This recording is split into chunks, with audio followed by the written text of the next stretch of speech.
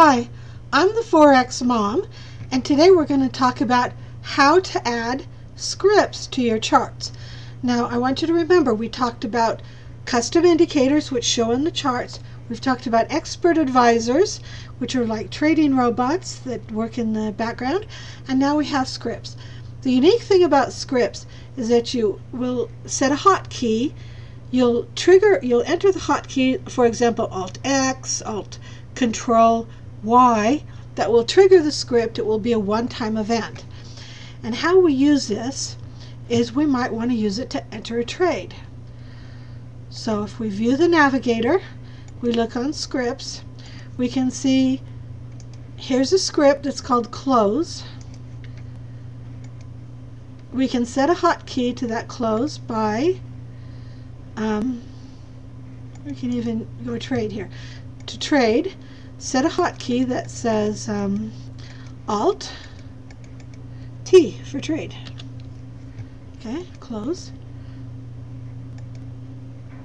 Now if I enter the key combination Alt T, it will come up and ask me, do you really want to buy a dollar, a standard unit, at the New Zealand ask price? Okay. And if I say yes, it will enter the trade. However, this is Saturday, the Forex is closed, so really can't enter a trade. Um, these scripts are pretty easy to write, but they're very powerful.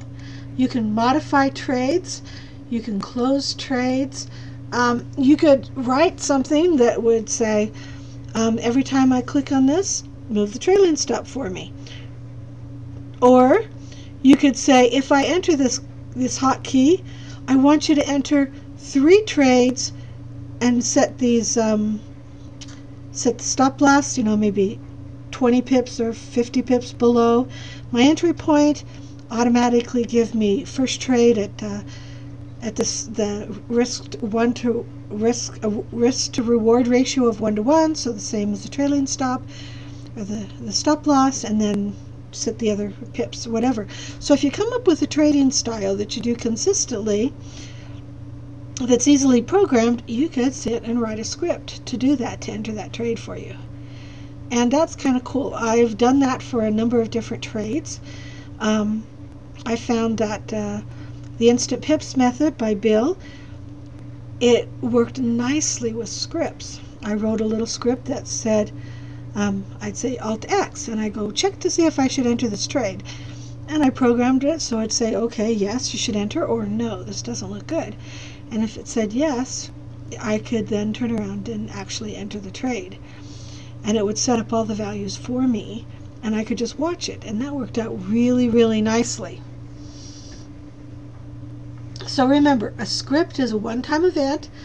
You can't see any pictures on the charts, but it just does a one-time event checking to see if you want to modify, create a trade, modify an existing trade, close a trade, delete a pending trade, modify a pending trade. There's a lot of power in this one-time script capability.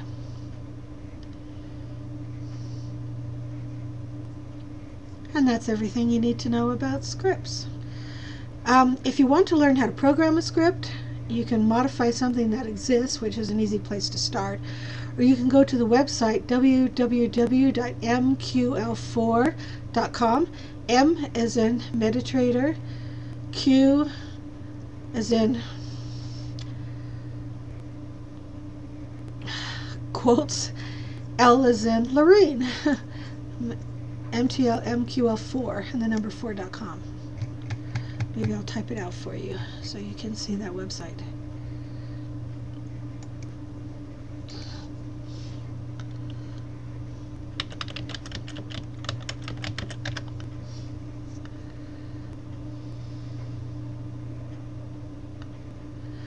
This is the MQL4.com trading um, website, and this is an excellent source. This is the definitive source for understanding how to write scripts.